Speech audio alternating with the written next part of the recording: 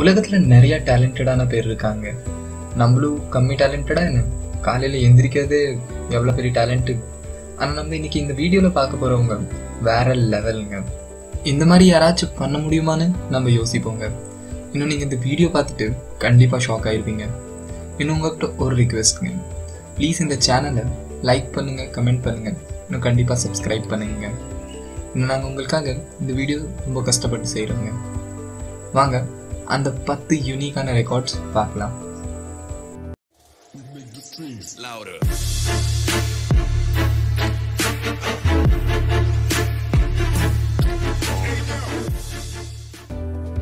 உலகத்தில் எல்லா பிள்ளைங்களும் கம்மல் போடுறதுக்கு காதை குத்திக்குவாங்க. பசங்களுக்கு ஆசை இருந்துச்சுன்னா அவங்களும் காதை குத்திக்குவாங்க. கொஞ்சம் நிறையா இருந்துச்சுன்னா ரெண்டு காதை குத்திக்குவாங்க. ஆனால் நாங்கள் உங்களுக்கு ஒரு மனுஷனை காட்ட போகிறோம் யாரு? அவன் காதில் ஒன்று இல்லை ரெண்டு இல்லைங்க four hundred and eighty seven piercing பண்ணிக்கிறாங்க. ஆமாங்க. இந்த மனுஷனை பார்த்தீங்கன்னா கொஞ்சம் ஏலியன் மாதிரி தான் இருக்கான். ஆனால் இவன் வேர்ல்ட் ரெக்கார்ட் பண்ணியிருக்கிறாங்க. இவன் உடம்பு ஃபுல்லாகவே நானூறுக்கு மேலே பியர்சிங் பண்ணிக்கிறாங்க. இவன் மூஞ்சியை பார்த்தீங்கன்னா பார்க்குற மாதிரி இல்லை. அப்பவும் பாருங்க. அவன் பார்க்குறக்கு கொஞ்சம் ஏலியன் மாதிரி தான் இருக்காங்க. ஆனால் அவன் மூஞ்சியை ஒத்து பார்த்தீங்கன்னா ஐப்ரோக்கு இடத்துல கம்மல் இருக்குங்க. மீசைக்கு இடத்துல கம்மல் இருக்குங்க. இன்னும் எங்கெங்கேயோ கம்மல் இருக்கும் யாருக்கு தெரியும். இவன் இந்த பியர்சிங் எல்லாம் ஒரே நாளில் பண்ணலைங்க. இந்த பியர்சிங் பண்ணுறதுக்கு அவனுக்கு பதினோரு வருஷம் ஆயிடுச்சுங்க. இன்னொன்று ஆச்சரியமான விஷயம் என்னென்னா இதுக்கு முன்னாடி அவன் கம்ப்யூட்டர் இன்ஜினியராக இருந்தாங்க. அதுக்கப்புறம் தான் இந்த மாதிரி ஏலியனாக மாறிட்டாங்க. இன்னும் நாங்கள் உங்கள்கிட்ட ஒரு ரிக்வெஸ்ட் பண்ணுறோங்க நாங்கள் இந்த வீடியோ பண்ணுறதுக்கு ரொம்ப கஷ்டப்படுறோம். ஏன்னா எங்களுக்கு உங்கள் சப்போர்ட் ரொம்ப அவசியமானதுங்க. அதனால் இந்த வீடியோ உங்களுக்கு பிடிச்சிருந்துச்சுன்னா லைக் பண்ணுங்கள் கமெண்ட் பண்ணுங்கள் எனக்கு கண்டிப்பாக வீடியோவை ஷேர் பண்ணுங்கள் அடுத்தது நம்ம ஸ்கீ ஜம்ப் பற்றி பேசலாங்க. ஸ்கீ ஜம்ப் பண்ணுறது அவ்வளோ ஈஸியான வேலை இல்லைங்க. யார் வேணாலும் வந்து குதிச்சுட்டு போகிற மாதிரி இந்த ஜம்ப் இல்லைங்க. இந்த ஜம்ப்க்கு ரொம்ப ப்ராக்டிஸ் இன்னும் ரொம்ப டெடிகேஷன் வேணுங்க. இந்த ஜம்ப் பற்றி நம்ம பார்க்கலாங்க. வாங்க. இந்த ஜம்பை பண்ணி முடிச்சது ராபர்ட்ங்க இந்த Jambai two hundred and eighteen metre வரைக்கும் அவங்க குதிச்சிட்டாங்க. யோசிச்சு பாருங்க எவ்வளோ தூரம் குதிச்சிக்கிறாங்கன்னு பார்த்தா பென்சிலில் கோடு போட்ட மாதிரி இருக்காங்க. ஆனால் காரியம் பெரிய பெரிய பண்ணுறாங்க இந்த ஜம்பை செய்யும் போது அங்கே ஸ்னோஃபாலும் நடந்துட்டு இருந்துச்சுங்க. இது ரொம்ப கஷ்டமான விஷயங்க ஜம்ப் பண்ணுறதுக்கு அப்போவும் அவங்க இந்த ரெக்கார்டை பண்ணி முடிச்சிருக்கிறாங்க. யாரோட ரெக்கார்டு இவங்க பிரேக் பண்ணாங்களோ அவங்களும் இந்த ஜம்பில் பார்ட்டிசிபேட் பண்ணிட்டு இருந்தாங்க. அவங்களையும் தாண்டி அவங்க இந்த ரெக்கார்டை முடிச்சிருக்கிறாங்க. நம்மளுக்கெல்லாம் செவரடி குதிச்சு தான் பழக்கங்க.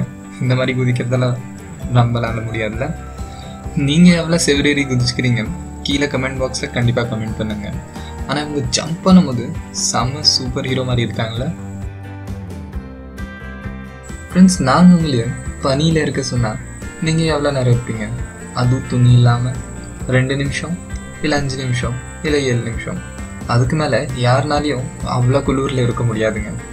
ஆனால் நம்ம இன்னைக்கு பார்க்க போகிறது ஒரு ரொம்ப யூனிக்கான மனிதருங்க ஆஸ்திரேலியாவில் இருக்கிற ஜோசப் கோப்ரா எவ்வளோ குளிர் இருந்தாலும் தாங்கிக்குவாங்க. அதனால தானே அவங்க ரெக்கார்ட் பண்ணிட்டாங்க. இன்னும் நீங்கள் யோசிப்பீங்க இவங்க என்ன ரெக்கார்ட் பண்ணியிருக்கிறாங்கன்னு. இவங்க ஐஸ் கியூப்ஸில் ரெண்டு மணி நேரம் இருபத்தி ரெண்டு நிமிஷம் உள்ளே இருந்திருக்கிறாங்க. இன்னும் இது நிறைய பேருக்கு தெரியாதுங்க. நீங்களே யோசிச்சு பாருங்க. யாராச்சும் இவ்வளோ நேரம் ஐஸ் கியூப்ஸ்குள்ளே இருக்க முடியுமா என்ன? இவங்க நம்ம அன்யன் ரெக்கார்டே உடச்சிட்டாங்களே. ஆனால் அவங்க இந்த ரெக்கார்டை திருப்பியும் பண்ணியிருக்கிறாங்க. நம்ம குளிர் காலத்தில் ஜில்லு தண்ணியில் குளிக்கிறக்கே மூக்கால அழுகுவோம் ஆனால் இவங்க இவ்வளோ ரெக்கார்டெல்லாம் பண்ணுறாங்க நீங்களும் கண்டிப்பாக கமெண்ட் பண்ணுங்கள் குளூரில் ஜில்லு தண்ணியில் குளிப்பீங்களா என்ன? அடுத்தது பார்த்தீங்கன்னா இந்த பையன் மூணு நிமிஷத்தில் ஒம்பது பவுடர் டோனட் சாப்பிட்டாங்க. உங்களுக்கு சொல்லிக்கிறோம் பவுடர் டோனட் சாப்பிட்றது அவ்வளோ ஈஸியான வேலை இல்லைங்க. ஏன்னா இதில் சீஸ் கிடைக்காதுங்க. இன்னும் சாப்பிட்றதுக்கு ரொம்ப கஷ்டமாக இருக்கும். இந்த பையன் நிறையா ரெக்கார்ட்ஸ் பண்ணியிருக்கிறாங்க. ரெண்டு நிமிஷத்தில் நிறைய சிக்கன் ரோல் சாப்பிட்றது. இன்னும் நிறைய பேர் சொல்லுவாங்க இவனை சாப்பாட்டில் அடிக்கிறது ரொம்ப கஷ்டங்க. ஆனால் நம்ம டெய்லி டெய்லி தான் சாப்பாடில் ரெக்கார்ட் பண்ணிகிட்டு இருக்கோம். நம்மள யாராச்சும் சாப்பாடில் அடிச்சுக்க முடியுமா என்ன? நம்மலாம் யார்? அன்லிமிட்டெட் பிரியாணியை அன்லிமிட்டடாக சாப்பிடுவோம்ல. இந்த பையன் நம்மக்கிட்ட போட்டி போட்டால் கண்டிப்பாக தோத்துருவாங்க. சாப்பிட்றதுக்கு என்னென்னலாம் பண்ணுறாங்கன்னு பாருங்கள் நீங்களும் கண்டிப்பாக சாப்பிட்றதுல ஏதாச்சும் ரெக்கார்ட் பண்ணியிருப்பீங்க கமெண்ட் பாக்ஸில் கண்டிப்பாக கமெண்ட் பண்ணுங்கள் உங்கள் ஃபேவரட் ஃபுட் என்னென்னு இன்னும் நீங்கள் ஏதாச்சும் ரெக்கார்ட் பண்ணிக்கிறீங்களான்னு நாங்கள் உங்கள் கமெண்ட்காக ரொம்ப ஆர்வமாக வெயிட் பண்ணுவோம். அடுத்தது நம்ம ஒரு யூனிக்கான பையன் பற்றி பார்க்க போகிறோங்க இந்த ரெக்கார்ட் பற்றி நிறைய பேருக்கு தெரியாதுங்க. ஆனால் இது ரொம்ப யூனிக்கான ரெக்கார்டுங்க நீங்கள் பார்த்தீங்கன்னா இந்த பையன் பேர் மார்க். இந்த ஜெர்மனியில் இருக்காங்க. இவன் என்ன ரெக்கார்ட் பண்ணியிருக்கானா ஐம்பது மீட்டர் ஃபாஸ்டஸ்ட் ஸ்கேட்டிங் ரெக்கார்ட் பண்ணிக்கிறாங்க. ஆனால் ஸ்பெஷலான விஷயம் என்னென்னா அவன் காலில் இல்லைங்க கையில் ஸ்கேட்ஸ் போட்டு இந்த ரெக்கார்டை முடிச்சிருக்கிறான். இது ரொம்ப கஷ்டமான வேலைங்க. ஏன்னா காலில் போட்டு ஸ்கேட் பண்ணுறது ரொம்ப கஷ்டமான வேலை. நீங்கள் எப்பயாவது ஸ்கேட் பண்ணிங்கன்னா உங்களுக்கு கண்டிப்பாக புரியுங்க. இந்த ரெக்கார்டை பண்ணி முடிக்கிறதுக்கு அவன் எட்டு செகண்ட் டைம் எடுத்திருக்கிறாங்க. இந்த மாதிரி ரெக்கார்ட் பண்ணவன் இந்த பையன் ஒருத்த மட்டும்தாங்க ஃபுல்லாக உலகத்தில் இன்னும் பார்த்தீங்கன்னா இந்த வேலை செய்கிறதுக்கு உங்கள் பாடியில் செம்ம கண்ட்ரோல் வேணுங்க. நம்மளாம் நல்லா மூச்சு முட்டுற அளவுக்கு சாப்பிட்டு தூங்கிடுவோம். நம்மளுக்கெல்லாம் இந்த வேலை செட் ஆகாதுங்க. ஆனால் ஸ்கேட்டிங்கில் கைட்லைன்ஸ் இல்லாமல் இல்லை யாராச்சும் குரு இல்லாமல் ஸ்கேட் பண்ணுறது ரொம்ப கஷ்டமான வேலைங்க. மூக்கு உடையறதுக்கு நிறையாவே சான்ஸ் இருக்குது அடுத்த ரெக்கார்டு ரொம்ப ஸ்பெஷலான ரெக்கார்டுங்க நம்மளும் சின்ன வயசில் இந்த ஹூலா லூப்ஸை வச்சு நிறையா விளையாண்டுருப்போம். ஆனால் இந்த பொண்ணு அவன் பாடியில் ஃபிஃப்டி நைன் ஹூலா லூப்ஸை வச்சு சுற்றிருக்கிறாங்க இது ஒரு ரொம்ப பெரிய ரெக்கார்டுங்க பாருங்க எல்லாம் ஜாலியாக இந்த ஹூலா லூப்ஸை வச்சு சுற்றிட்டு இருக்காங்க இன்னும் இந்த ரெக்கார்டெல்லாம் பண்ணி முடிக்கிறதுக்கு உங்களுக்கு ரொம்ப ப்ராக்டிஸ் இன்னும் ரொம்ப பாடி கண்ட்ரோல் வேணுங்க. இந்த ரெக்கார்டெல்லாம் பண்ணுறதுக்கு உங்களுக்கு வருஷ கணக்கான எக்ஸ்பீரியன்ஸ் இன்னும் ப்ராக்டிஸ் வேணுங்க. நம்ம லெவலாக இது ரொம்ப கஷ்டங்க பாருங்க எவ்வளோ அழகா அவன் எல்லா பாடி பார்ட்ஸில் ஹூலா லூப் சுற்றிட்டு இருக்கான். நீங்கள் நம்ப மாட்டீங்க இந்த பொண்ணு இப்போ கூட டெய்லி ப்ராக்டிஸ் பண்ணுறான் அவள் செஞ்ச ரெக்கார்டை உடைக்கிறதுக்கு அவள் அடுத்த கோல் என்னன்னா ஹண்ட்ரட் ஹூலா லூப்ஸை ஒரே வாட்டியில் சுற்றுறதுங்க யாராச்சும் ஹண்ட்ரட் ஹூலா லூப்ஸை ஒரே வாட்டியில் சுற்ற முடியுமா என்ன? சுற்றினாலும் அது இந்த பொண்ணுனால தான் முடியுங்க. அடுத்த ரெக்கார்டு பார்த்தீங்கன்னா கொஞ்சம் ஏதோ மாதிரியாக தான் இருக்குங்க. ஏன்னா இந்த பூனை தான் வேர்ல்ட் ரெக்கார்ட் ஹோல்டருங்க இந்த பூனையை பார்த்தாலே கொஞ்சம் ஏதோ மாதிரியாக தான் இருக்குது ஏன்னா இந்த உட்கார ஸ்டைலை பார்த்து. ஆனால் வேர்ல்ட் ரெக்கார்ட் நீங்கள் கேட்டு ஷாக் ஆயிடுவீங்க வேர்ல்ட் ரெக்கார்டு என்னன்னா இந்த பூனை இந்த டைஸ் எப்படி ஹோல்ட் பண்ணுறது தாங்க பாருங்க எப்படி அழகா இந்த பூனை இந்த டைஸ் எல்லாம் ஹோல்ட் பண்ணுதுன்னு.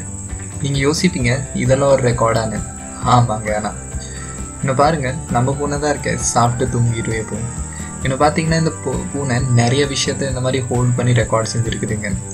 இன்னும் நீங்களும் கண்டிப்பாக ஏதாச்சும் ரெக்கார்ட் பண்ணாங்க யோசிச்சு ட்ரை பண்ணுங்க. அடுத்தது பார்த்தீங்கன்னா இது ஒரு ரொம்ப விசித்திரமான ரெக்கார்டுங்க இதில் ஒரு மனுஷன் அவன் உடம்புல ஆயிரக்கணக்கான தேனியை உட்கார வச்சிருக்கிறாங்க.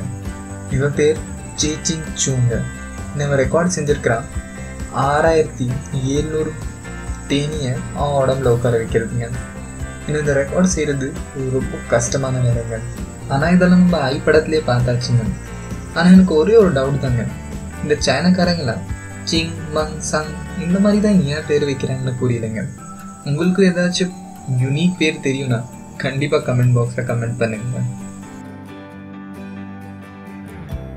அடுத்தது நாங்கள் உங்களுக்கு ரொம்ப விசித்திரமான ஃபோட்டோ காமிக்க போகிறோங்க இதை நீங்கள் பார்த்துட்டு கண்டிப்பாக ஷாக் ஆயிடுவீங்க இதில் பார்த்தீங்கன்னா ஒரு பையன் ரொம்ப ஆழமான கிணறுல குதிக்கிறாங்க.